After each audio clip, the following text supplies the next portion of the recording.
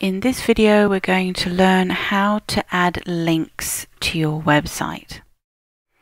Now the first thing you need to do is create some text for your link. We're just going to type here, this is a text link. That text there will become your link. The next thing you need to do is copy the URL of where you want people to go to when they click your link. Now I've just brought up a web page here and it can be any web page on the internet at all. And what you want to copy is the URL in the top of your browser window. So just highlight that and copy and go back to your website highlight your text that you'd like to make a link and then click on this button here which is the link button. This will bring up a pop-up window and all you need to do is fill in this information.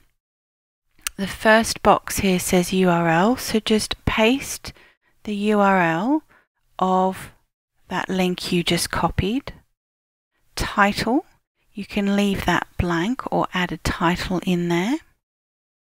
And you can tick this, this box here that says open link in a new window or tab. And that will keep people on your website and open the link in a new window or tab. And then just go down to here and click add link. And there you are. You can see that that text has now become a link. If you're on WordPress, you can also highlight that link, press the link button, and also scroll down to the page that you want to use as your link in your list here. So we'll scroll down and we will use this one here and then just click update or add link. Now all you need to do now is click publish or update and you can now see if we view that post that that text has now become a link. You can see you hover over it and it has an underline and if you click that link it's going to take you directly to the web page that you copied in there.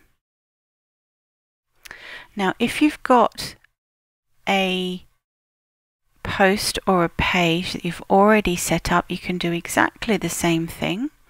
Find the piece of text that you'd like to make a link. So we're going to just copy this, this phrase here. Click on the link button.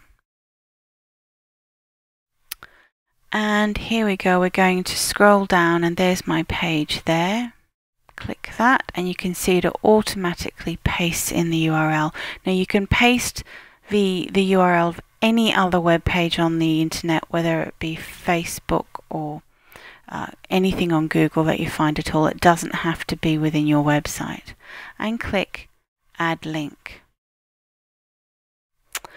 And if we remember to update that,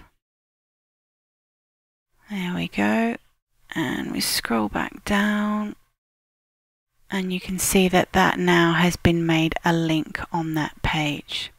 If you want to undo a link, just highlight where you currently have the link and just click the unlink button here and that takes the link away.